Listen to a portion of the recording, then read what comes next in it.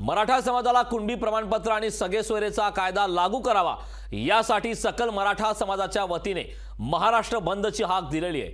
या बंदमध्ये बीड जिल्ह्यातील सर्व व्यापारी बांधव सहभागी झालेत. दरम्यान मराठा समाज बांधवांशी संवाद साधलाय. आमचे प्रतिनिधी विकास माने यांनी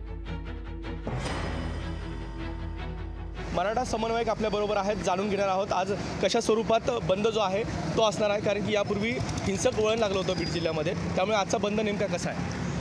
आजचा बंद आद आदरणीय जारांगे पाटील साहेबांनी सांगितल्याप्रमाणे हा बंद हा शांतीपूर्ण बंद आहे आणि स्वफूर्तीनं जबरदस्तीचा बंद नसून हा स्वतःच्या इच्छेनं हा बंद ठेवलेला आहे. ह्या मराठा समाजाच्या भावना आहेत. बंद म्हणजे हा काही कुठला निषेध न हा बंद म्हणजे मराठा समाजाच्या भावना आणि सरकारचा महाराष्ट्र सरकारचा निषेध आहे. हा शांतीपूर्ण बंद आहे. सरकारला विनंती आहे की मनोज जरांगे पाटलाच्या पाच दिवसाच्या उपोषणामुळे त्यांच्या नाकातून रक्त यायला सुरुवात झालेली आहे. शेवटी माणसाची बॉडी अन्न पाणी त्यागल्यानंतर किती वेळ प्रतिसाद देऊ शकते याचा सरकारने विचार केला पाहिजे.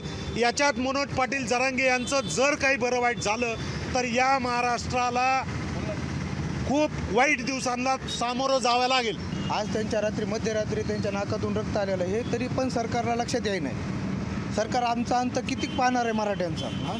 हे सरकारला लक्षात द्यावं हे इशारा आहे साव सरकारला की शांतता ही कधी बी उद्रेकच निर्माण करणारी आहे. फसवागिरी टाईप आमच्या म्हणून जाता मनोज दादा ज- जरांगे साहेबांची प्रकृती बिघडत आहे आणि सर्वांनी जे आश्वासन दिलं ते त्याची पूर्तता करावी. आश्वास आश्व जर का आश्वासनाची पूर्तता नाही झाली तर ह्याचा उद्रेक झाल्याशिवाय राहणार नाही. हे महाराष्ट्राच्या मुख्यमंत्र्यांनी आणि महाराष्ट्रातील उपमुख्यमंत्र्यांनी लक्षात ठेवावे. निश्चितच मराठा समाजाच्या या भावना आहेत आणि आजचा बंद जो आहे तो शांततेत आहे परंतु यापुढे जर उद्रेक झाला तर राज्य सरकारने विचार करावा असं देखील म्हटलं आहे. विकास माने लोकशाही मराठी बीड.